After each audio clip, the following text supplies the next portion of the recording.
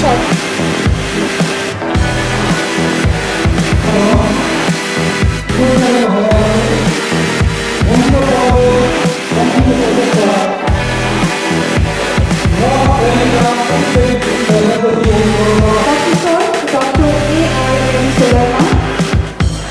বৃন্দ প্রিয় স্বামীবৃন্দ হয়ে থাকবে সম্মানিত সিন্ডিকেট সদস্যবৃন্দ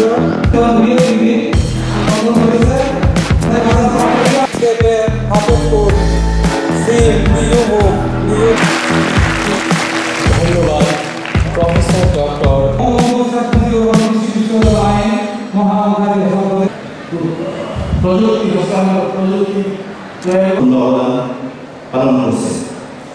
আর এই বিশ্ব আলোচনা সবাই মাননীয় প্রধান অতিথি। ঈশ্বর সব কিছু মানে যে ঐশ্বর্য এটা একটা কেবল একটা সাধারণ মানুষ বলছে তা মনে হয় না। মনে হয় যে আল্লাহ প্রদত্ত কোনো ঐশ্বরিক গুণের অধিকারী কোনো ব্যক্তি এটা বোধহয় একটা ওই যে সামন মতো? এটা আল্লাহ তালা ওনার মুখ দিয়ে যে বাণী সেদিন বের করিয়েছেন। এটা আমার নিকট, অন্য কি, কীভাবে আমার নিকটে এটা একটা ঐশী বাণী